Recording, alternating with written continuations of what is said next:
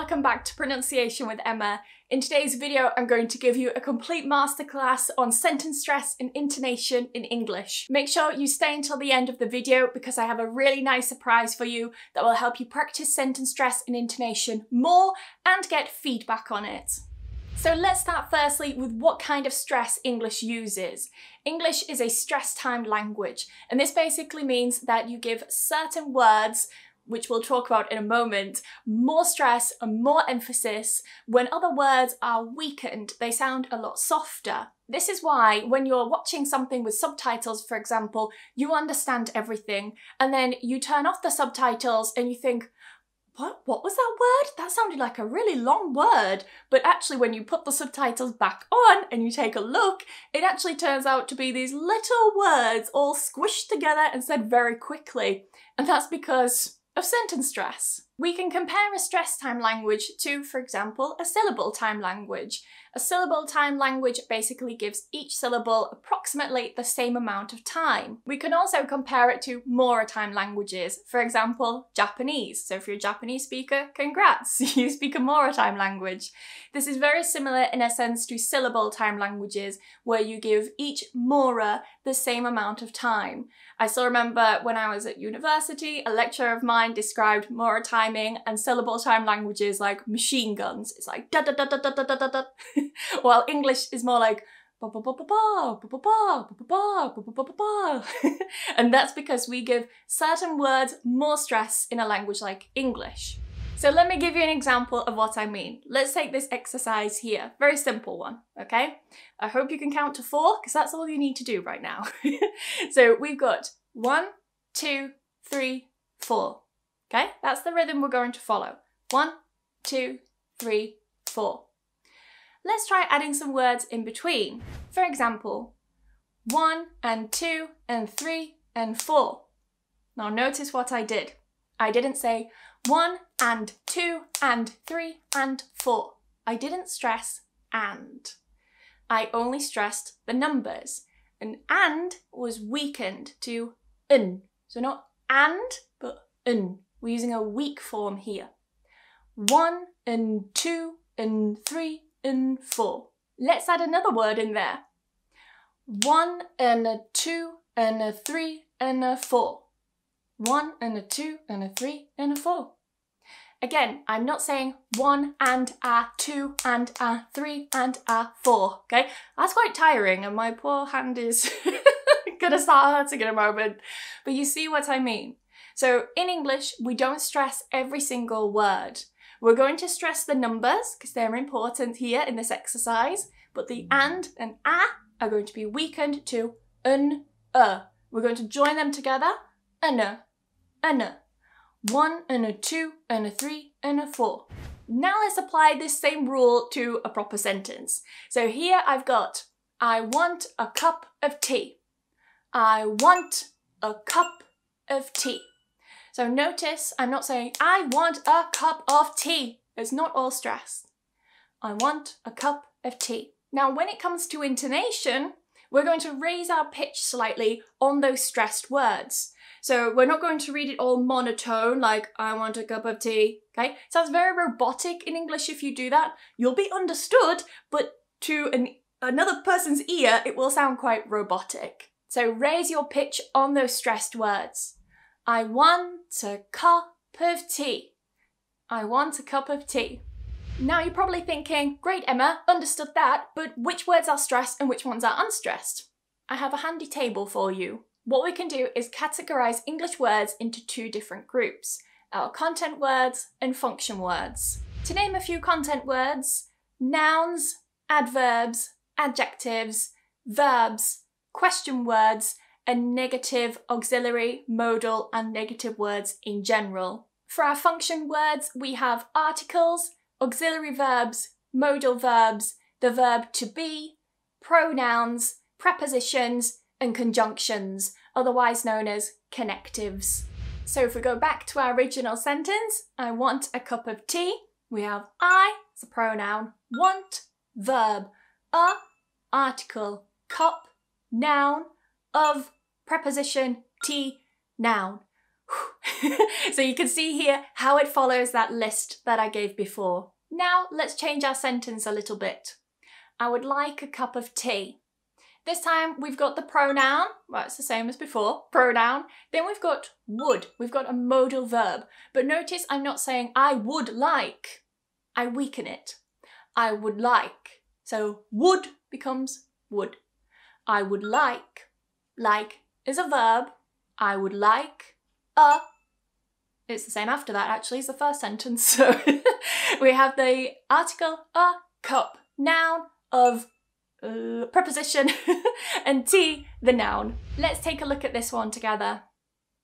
Which of these words do you think will be stressed? Okay, you can pause, have a think. She will be late to the party. She will be late to the party. So again, she, pronoun, will is our modal verb, and we don't usually stress modal verbs. She will be late. Late is an adjective. To the, not to the, to the. Preposition, article, party, noun. She will be late to the party. She will be late to the party. Here's another sentence, a little bit longer to practice with. Which ones do you think will be stressed here? Feel free to pause the video and take your time. Can you go to the shop and buy me some bread? Can you go to the shop and buy me some bread? Can, remember, is a modal verb. We're not going to stress it. Can becomes can. Can you go? Can you go? Not to the, to the, to the shop. Can you go to the shop and buy me some bread? Some, strong form is some, gets weakened to a schwa. Can you go to the shop and buy me some bread? Can you go to the shop and buy me some bread? Now, we sometimes break this rule if the word is used for emphasis, contrast, if it's alone in a sentence, or sometimes if it comes at the end of a sentence. So let's take this sentence here. Now, in normal sentence stress, we could say, I asked her if she wanted fish and chips. I asked her, or asked, it's up to you, or asked, asked. I asked her if she wanted fish and chips. Fish and chips. So not fish and chips, fish and chips. Un, okay? And gets weakened to un. But let's imagine the listener that we're speaking to got a bit confused. They thought we said something else, so we need to clarify something. No, I said fish and chips, not fish or chips. Fish and chips, not fish or chips. Now I'm giving stress to and and or. Otherwise, naturally, it would be said as fish and chips and fisher chips. Fisher chips, that sounds really weird, but is what we would say. Now for some extra practice and to talk about the special surprise that I mentioned at the start of the video, we today are going to be using the Elsa app. Elsa is a pronunciation app that focuses on pinpointing your mistakes with pronunciation and it gives you very, very specific corrections. We're going to go through it together. We're actually going to go through the unit on sentence stress today. Well, we're going to go through the unit on intonation, I should say, which also covers sentence stress. So we're gonna jump down to the unit on intonation. Oh, there it is. Okay, I'm gonna skip that. We don't need that because I've already explained it to you. You know the rules. If you're paying attention to this video, hopefully you were. We're gonna go into the first exercise. I went to the store Oh, okay, there we are. So this does focus primarily on American English. So I'm still gonna do British English and you're going to see how it marks my intonation and stress. Now, as I said, I'm gonna speak using my accent, which is not American, and this focuses on American English. But intonation in British and American English is pretty much the same, so don't worry about that. Let's have a listen again. I went to the store so we can also see it says emphasize, went and store. So we're going to record ourselves. I'm going to record myself. I want you to listen and practice at home. So are you ready? I went, oh no, my network's not available. Let me turn on my internet. okay, so now my internet's back on. Let's have a go. So I went to the store. Good job. Well done, me. and hopefully you as well. What's good is you can also listen back. I went to the store. And this? I went to the store. I went to the store. So this is great. You can listen back to your recording and uh, compare it to the original recording that's on the app. Let's try another one together. Okay, ready? I'm glad you like it. Well done to us. Let's try a few more. Take a left at the light.